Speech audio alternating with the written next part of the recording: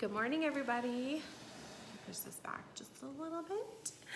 I finished um, breakfast, so I don't have to be eating on camera with you guys. um, how are you guys doing? Um, so this morning, come here. Come on, come here. Let's put you on camera. So this morning, Starla was making the weirdest noise. She had literally her collar was like halfway in her mouth, like she was trying to take it off. So her collar was like stuck in the bottom of her jaw. And I had to like really maneuver it out of there, like, cause it was caught on her tooth. I hope that she learned her lesson by doing that because hopefully that means that she's not going to try to be taking her collar off anytime soon. But I think I'm gonna take it off for today because it kind of scares me that she did that. So let me just take it off right now. um, I don't know what to do with this cat, you guys. Um, I may not even do a collar anymore at, at, all until she's a little bit older. So this is, I got her a buckle one and I ended up having to cut the end of it because it was too big for her. Um, no, no, no, no, no, no, no, no. So um, she prefers no collar. I Maybe I should just honor that. I don't know. Um, but right now she's so, she is so bad that it scared me that she did that because it was like, she could have really hurt herself. She could have, she could have broken her mouth, like her jaw. Um, and so my hands feel so dry right now, so I need to put some lotion on them. Um, it just, it scared me that she, she did that. So, no, no, no, no, no. So I think what I'm gonna have to do is either um, wait until she's a little bit older to put a collar on her because Luna doesn't fuss with her collar. Like Luna's fine, but um, I don't know. it scared me. So yeah, she's not gonna have a collar today. And maybe she's just happy like that. Maybe she's just one of those cats that just doesn't want one. I don't know. Do you guys put collars on your cats? Is it necessary to put a collar on your cat when they're indoor? I just always did because I like to hear, I like to know where they're at, especially when she's a kitten. But after that happened, it really scared me. So I'm like, uh, I don't think I want to risk that. and then especially like when I take off and I go to um, Sacramento, I'm like, yeah, my friend is going to be around, you know, each day to check on them, but what if, what if, like all these what ifs are like floating around in my mind right now. So I'm just like, uh, I don't think I wanna risk that. Um, so, um, a lot of you guys were commenting on my other video about um, saying that you really enjoyed the video diaries and that you hope that I continue through with them um, once the 30 days is up, which yay! Today is day 30. Um, so I was doing a lot of thinking about it and I think I will keep them up too. Um, I really enjoy doing them, especially on my work weeks. Um, it's just kind of something extra for me to look forward to when I get up and roll out of bed. but um, life is gonna be changing soon, you guys. Um, my husband will be home more. Well, I, I say that now. He'll be home more for 10 days after his graduation because he has a break. So all of the, the cadets, well, I should say officer because he'll be an officer once he graduates. It's going to be so weird saying that. But anyways, um, they all get a 10-day break. It's kind of like that's the 10 days where if they're if they're moving they gotta move if they are you know having to get their whatever like, like this is when they get their shit together and prepare to report to duty on the 14th of October. So my husband has 10 days. Luckily, we don't have to move. We don't have to worry about any of that stuff because um, we just don't. So I'm just so grateful for it. Thank God. because just the idea of having to move again was stressing me out. Um, too much moving in the last couple years. Um, so I'm really glad that we don't have to worry about that, which means we have 10 days really to just enjoy having him home and it's like a vacation for him. And then he starts work officially on the 14th. And so that's when our schedules are going to be changing, or his schedule will be changing. I will be seeing what his work schedule is going to be like, and just getting used to the new lifestyle. So, with that said, I can say right now, you know, oh yeah, I'll be here doing these video diaries in the mornings, but I don't know if that's going to be feasible with his schedule. His schedule might be the morning time, might be our only time together um, because I'm still going to be working. So depending on what the schedule looks like on his end, how it clashes or it doesn't clash with both of us, then I will just make that decision after. Um, you know, like when is the best time to do my video diaries. So I don't want to film video diaries um, when he's home so much unless he's going to be in it or, you know, unless he's like off doing his own thing. But like I said, if it's if it's a matter of the mornings are my only time with him because other than that I'll be at work and he's gonna be working um, then obviously I will be doing my video diaries when he's not home. So once I know all that schedule, then we'll figure it out. But for now, you guys will be getting your daily dose of me as long as I'm able to just throw on the camera and film. So yeah. I need to start using a different mug. I think I'm just like overusing this one. I love this mug though.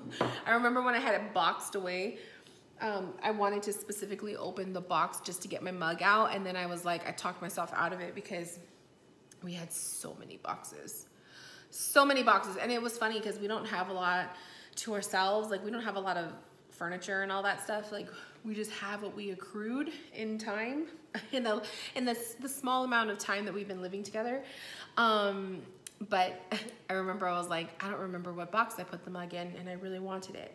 So yeah, my eyebrows, I think my eyebrows have been looking pretty good, you guys.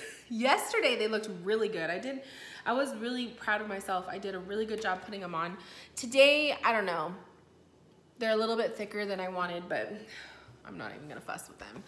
Um, because once you start messing with your eyebrow, then you really mess it up and it's like, nope, then you gotta take it all off and start all over. I had the weirdest dream last night too. I was dreaming about, you know that guy that, um, what's his name? Nick Santino? Santino? The, the actor for, like, he's on a lot of Netflix movies. He was in my dream last night. It was really weird. Um, it was like one of those romance dreams, you know? And I woke up like thinking like, that was really weird. My husband needs to come home. Like, the fact that I'm dreaming about other guys is like just too weird and way too weird. And he's so young. So anyways, um, um, I don't know what to talk about, you guys. I've been having so much more. Actually, let's just talk about that. So on my Instagram, um, I made a, a, little bit of a wish, a wish, I made a wish. Um, I made a wish, I set my intentions for when, when um, Saturn went direct, which I talked about in like a few videos back. I talked about Saturn going direct. And I looked at my chart specifically where Saturn is um, transiting right now, and it's transiting in Capricorn, and Capricorn is in my eighth house, and the eighth house is transformations, endings, beginnings, um, sex, and like some other stuff. Like the eighth house is one of those, is the houses that a lot of the astrologers say is like the dumping ground for everything that just doesn't go together. and so, um, and it's and it's in the house of Capricorn, well, the house of Capricorn. It's in the sign Capricorn, and so Capricorn energy is very. Capricorn energy is all business, very hardworking, hardworking signs, um, and they're also about the money. They're also about you know just like really putting their all into everything that they do, right? Um, and Capricorn energy can be difficult. Um, they're they're not my most favorite sign in the zodiac. but my husband has a Capricorn rising, so obviously I'm married to a Capricorn. Um, and so but you know, they're also very motivating people and they're very they get their shit done. Like when they when they put their mind to something, Capricorns will get it done. And so I'm like, how is this Saturn, which is usually a planet of um, Saturn is a planet of transformation in itself too, but it's more of a planet of lessons and karma and like sometimes it puts a stop to things and makes you rethink your, your, what you're doing before it lets you proceed, you know? Before it lets you pass go and collect $200, you gotta deal with some stuff first, basically is Saturn.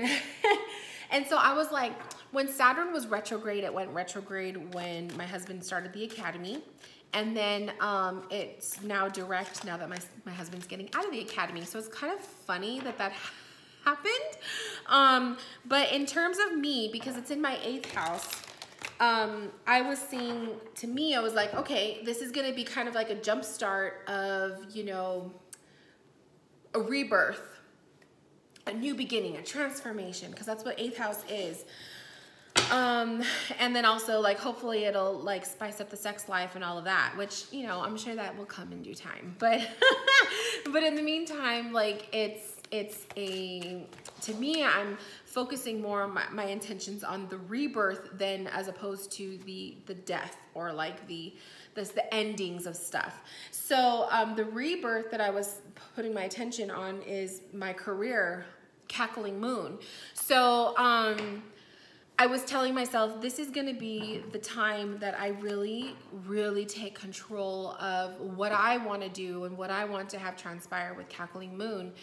And um, I literally, you guys, I set the intention that, and I think this was also with the full moon we had, I set the intention of um, I want to grow my follower base. I want to focus on putting out content that people want to see. And that's what I kind of started to do with these videos. And I noticed a huge, a huge switch up with my audience on YouTube simply by putting up videos that are completely different from just tarot client readings. Now, the client reading videos are fun to put up because I know a lot of you guys like to watch how a tarot reading is, is done and all of that. Like I like to watch that stuff too. But when I was just only putting that stuff up in maybe like one or two other videos a month, it wasn't, I, I was noticing my follower, my follower, my subscriber count, like the number was going up one or two. It wasn't really, you know, not that big of a deal. Um, and then the comments pretty much didn't exist, maybe one or two, but that was it. And ever since I started doing these video diaries, and I'm telling you, like, sometimes or probably like a good portion of these video diaries is just me going off on tangents and talking about whatever, but for some reason, I've been getting a lot of views. I mean, okay, I'm not getting like a lot of views, but I'm getting significantly more than what I've been getting before. So pretty much like a lot of my video diary videos, video diary videos, they've been hitting 100 plus views. And I usually don't get that on any of my other videos, um, except for, which I recently, I went back in time I went back in time on my YouTube channel and I was looking at my older videos and seeing like what kind of content I was putting out back then and a lot of my tarot related videos from back in the day have like 2,000 views and I was in I was in shock. I was like how does that happen? But I guess it's obviously because it's been a few years and then when people are like searching for tarot stuff, you know, the video will pop up and it's just something that people constantly watch. So that was kind of cool, but I don't get anything near anything near that like on a video that I just very barely put out right now. So like anything that I just barely put out right now will get maybe tops 200 views and that's it, which is fine. Like I, I like to have a small little channel. I'm not looking to have like fame and fortune from this. but um, it was the intention that I was putting out there for Saturn um, that I really wanted to grow my social media. Now, the other funny thing is my Instagram account has been so stagnant the last this whole year pretty much. Like I've been floating at 4,000 subscribers for well over probably almost a year. Like it took me forever even to hit 4,000 subscribers. I was at in, in the 3,000s forever. And I remember at the, around, around the same time that I had um, I had just hit the 3,000 mark. Another reader that I really enjoy watching and um, not so much watching, but I really enjoy her her posts and stuff on Instagram. She was already like starting to grow her Instagram um, her her Instagram following and, and stuff, and she had just started, you know, putting her content out there. She was like a year into it, or maybe not even a year into it, and she already had 3,000. So I remember I gave her a shout out and stuff, and then um, I was watching her stuff, and she just like skyrocketed. She now has like, I think she has 16,000 subscribers or so, 16,000 followers on, on Instagram. And I was still floated at fucking right under 4,000. So I was like, how does that, I gave you a shout out. How does that happen? no, I'm just kidding. Um, so it's just, it just, some people, it works for them and other people, it just doesn't work for us. Like, I don't know what it is. I don't know what it is. I don't know what the secret is or to getting like so many followers. So anyways, um, when Saturn went direct and when we had the full moon and all of, all that wonderfulness, um, I put the intention out there that I really wanted to grow my social media. And so I'm not kidding you, I got a message on Instagram, a DM from a lovely, and she asked me if I wanted to be part of a promo, like a promo, kind of like a, a little chain of promo, like a little chain of promotions where like you you and a group of people promote one another and it's to gain exposure so people can like put the word out there about what you do. And it's the, the whole thing is to basically you you get in this like in this habit of sharing and promoting other people. And i and i was like i need to do that i need to do that. Not one just because one because i wanted to get my name out there more and people to see who cackling moon what what it is. But also because I really feel like it's an energetic exchange when you when you promote someone else or when you're like putting someone else in the in the limelight you'll get that back at you. Just like when i tell you guys when you buy if you're spending your money on someone else's services you will tend to see that someone else that you'll you'll make a couple new sales from people you've never had before. I truly believe in that exchange. And it's happened time and time again for me. Um, so when I go out there and purchase something from, I, like I support other creators or other readers, um, I always see an influx in sales in my personal readings. Um, it's just like, it's like what you put out into the universe, you receive.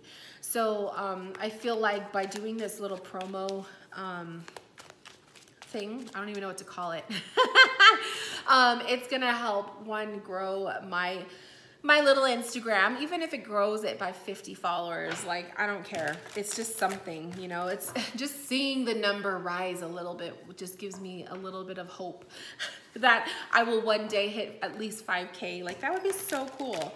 Um, and so, and then also to put my name out there, you know, I, there's people who don't know that Cackling Moon exists because they they haven't stumbled across my content.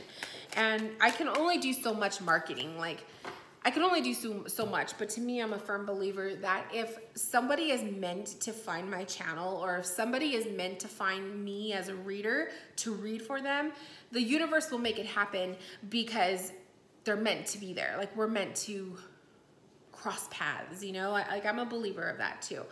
So I'm not very aggressive when it comes to to me me um advertising my services and advertising myself and what I do, but there are times where I will take initiative to be a little bit more aggressive. So by joining this promo group, that's me taking initiative because I do want to see a little bit of a shift in my followers. Like, you know, it's nice. And so I, I, I think it's also because I was catching myself falling into that pit of like, oh, I'm I'm such a small account. I'm never gonna, you know, make this many followers. And how do people get this many numbers? And and then I start like zoning in on the numbers, zoning in on like how many followers does this reader have? Oh, they probably make so much money off of it, and blah blah blah blah blah. When I start getting into that mindset, I have to put myself in check because it's not all about that. it's not. It's really not because I have to, to remind myself that I am my own example of that. That I don't have double digit followers, you know? Like I have a very minimal amount on my Instagram, but I'm so blessed with sales, people coming to me for readings, positive reviews, lots of support on a monthly basis. So it really doesn't matter how much followers and subscribers you have.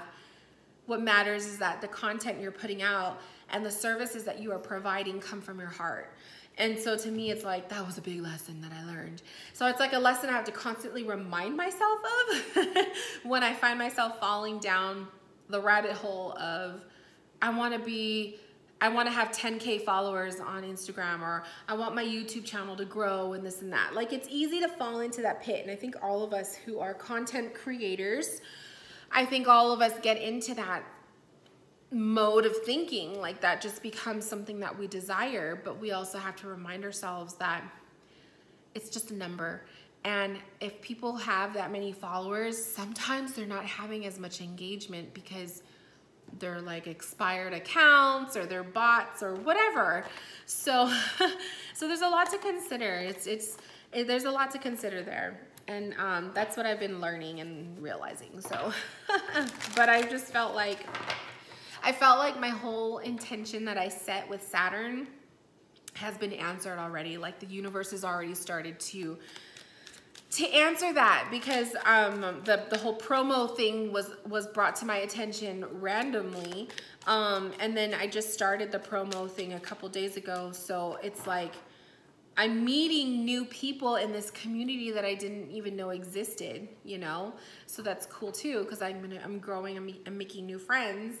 And then also, um, I've been getting more engage engagement on my um, Instagram posts, like a couple more comments here and there, or a little bit more likes here and there, you know? And it's just nice because I put so much of me into my posts, you guys, like, especially those daily messages, which is like something free and fun for everybody who follows me to, to have. You know, I don't have to do that stuff, but I do it one because I like it and two because that's that's my way of giving back, you know. And I'm always trying to think of different ways that I could give back um, that stands that has me stand out from everybody else because there's so many readers that are doing the daily messages or whatever. And so I'm trying to think of new things and um, Oh my God, look what card just flipped over. If you guys follow me on Instagram, you'll know exactly why I'm like, this card, the tower card has been stalking me the last few days and it's freaking me out. It's freaking me out. Okay, let's like divert to the tower. Let's talk about the tower for a little bit because it's it's 10:56. Oh my god, I gotta leave for work soon. Really quick, this tower card has been stalking me and it came up yesterday. It was yesterday's daily card and then I had a lot of people comment on that post talking about how they've either pulled the tower for themselves or they've been feeling tower energy in their life. And so it was a doozy yesterday. Like I had the busiest day at work. it was so busy. Everybody had questions. Um, I just, I felt like I had a headache that wasn't going away. Um, I was super hungry by the end of my shift. I, I got home a little bit after 8 and I ate dinner so late. I was so scared that I was going to wake up with acid reflux. And, um, but I didn't, thank God. Um, but it was just a day. It was such a day. And today is probably going to be another day. And I'm just like, I don't even want to go do my commute, but I have to. Um, and so, and so, um, and I just paid the bills too today. So I'm like, fuck. like I'm, I, when I pay the bills, it's just like a reminder of how much of my hard-earned money goes to the bills. so anyways, um, yeah, and the fact that he just like literally like I, I was just shuffling the cards because I'm, you know, I have I needed something to do with my hands while I'm filming, And he flips over like, come on, man. Like what? And what else? What else is happening? And, and it's freaking me out too because um, I'm gonna be flying to Sacramento and that's only, it's only a one hour flight, but still that's one hour of my ass up in the air. And I'm just so like, and I'm not having anyone with me. I'm going by myself and I'm just like, oh, I'm so nervous. And then my husband like dropped the bomb on me yesterday telling me that he probably won't be able to pick me up from the airport because he's probably gonna still be in class and he, you know, obviously he can't just like get up and leave. Like it's like the academy, like he, he leaves when they let them. and so I'm like, okay, so that means I have to Uber my ass from the airport to the hotel that I'm staying at. I've never used an Uber before.